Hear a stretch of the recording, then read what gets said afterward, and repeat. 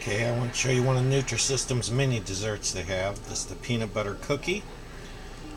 They all come individually wrapped like this, so it's great on the go. Take to lunch, to work, or to school.